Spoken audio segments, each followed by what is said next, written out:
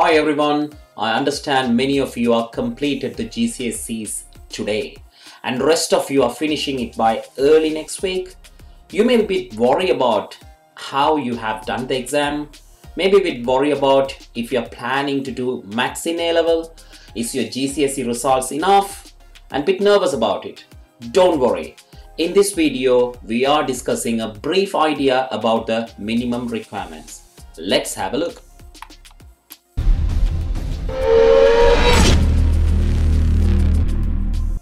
If you're planning to take maths as one of your A-level subject, the minimum requirement is level 7, which is an A. But however, there are some sixth form colleges and schools giving a chance to the students who scored 6 but predicted 7 in their mock exams. They are giving this chance to resit your GCSE maths and get a minimum 7 to continue your A-level maths but this is only for some schools and colleges. But widely speaking, the minimum requirement for choosing subject is 7, which is an A.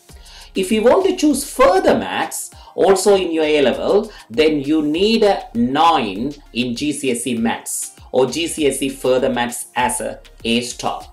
However, there are some few sixth form colleges and schools are accepting level 8 for further maths for this is entirely up to the school to decide and you need to contact your sixth form college or schools on this matter.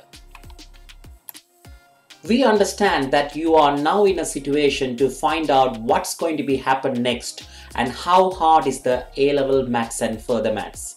So we have listed out four points to help you out. Our advice, number one, you don't need specific GCSE grades to get specific A-level grades. And the vast majority of universities don't care much about your GCSEs. Generally speaking, people with almost all of their grades at A star are more likely to get A stars at A level, but it all depends on how hard you work in the sixth form.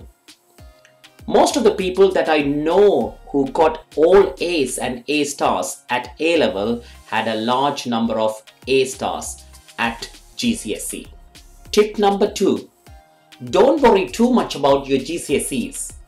GCSE's results are not always a good indicator of how someone will do at A levels as you could get 9s and 8s at the subjects you wish to continue to do in A levels but get 5s and 4s in your other subjects at GCSE but since at A levels you usually specialize on those subjects you got 8s and 9s. You never know how you may do the A levels. Tip number 3 A level maths and further maths. I'm going to go against the grain and say for AS there is not really a significant difference in difficulty between maths and further maths. It only really ramps up in the second year. Many students found second year further maths is bit difficult. It's a subject which requires a lot of hard work. Tip number four, passionate about maths. If you are prepared to work hard in your A level, then it's not too bad. We would advise that be prepared to practice the daily work topic exercises, monthly catch-up revisions, and familiar with past paper questions, then it's by far become your favorite subject. The most important thing is being passionate about what you do. I mean about maths. Now look at the books you're going to use in your A-level maths Edexcel. If you're taking A-level maths, you will complete two books in the first year, which is one for pure maths and the other one for statistics and mechanics, combined book. In the year 2, you will continue the book 2 of the pure and the book 2 of the statistics and mechanics. In total, you will sit for three papers. They are pure 1, pure 2 and stats and mechanics combined paper you have the option that you can do all the three papers at the end of the second year. However, if you can study all four books in the first year, then you can sit for the all three papers in the first year. So you have the option to focus on your further maths in the second year. Let's look at the further maths books. Those who are wanted to do the further maths, you need to do core pure maths 1 and 2 and choose one optional subjects from further pure, further mechanics, further statistics or decision mathematics. Here you will sit two papers, one for core pure 1 and core pure 2. There's a part 1, part 2 paper. Then the optional paper also have the part 1, part 2, either further pure or mechanics or statistics.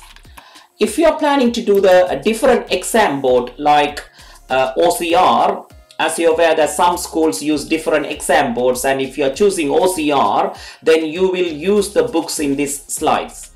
Uh, the core concept of the topics and theory is the same, but the exam structure slightly different according to the exam board. Now, what you can learn from these slides, a brief idea of the A-level maths and further maths so before we end this video, we would kindly request two things. Our kind request is number one, spread the news, tell your year 9 and 10s about Smart Tutors uh, YouTube channel, the best quality teaching of maths ever.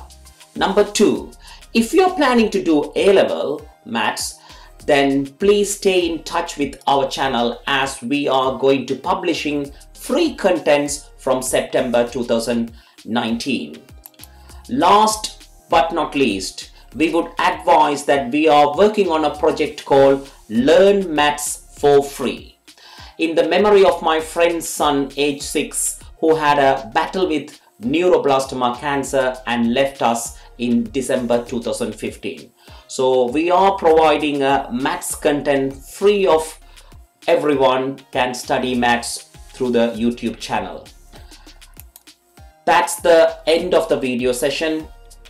I hope you like the video and if you do like the video uh, please give us a thumbs up and subscribe to our channel uh, to see the upcoming videos. And you can spread the news for the year 10s to get to know our channel. They can uh, learn and revise the topics and prepare for the next year GCSE and those who are taking the A-level maths please stay in touch and we will announce how we are going to be teaching the A-level maths through the uh, YouTube channel. Thank you for your time. All the best. Is your child weak in mathematics do you spend much time at work and struggling to find a tutor for your children? Don't worry, because we have an ultimate solution. Smart Tutors brings you an amazing meld of mathematics coaching experience by tutors working successfully in UK for more than 12 years. Our website is an immersive learning experience that provides comprehensive, curriculum-aligned mathematics content for toddler, age 5, to teenager, age 18, Smart Tutor is a user-friendly website which enables you to download three mathematics worksheets for free. If preferred, the user can download thousands of mathematics worksheets and sample papers for the chosen age group for only £2.50 per month. Not just this, but if you wish to have private tutoring at home, and if you are living in London 20 miles radius from Heathrow Airport, you can request for private tutoring by clicking the button, and tutor will contact the parent and arrange the class for your child at your own place. Smart Tutors also provides a facility to have tutoring via online tools. If you are interested, book your session now. You'll not need to wander for math tutors for your children anymore. Contact us today for a guaranteed 100% success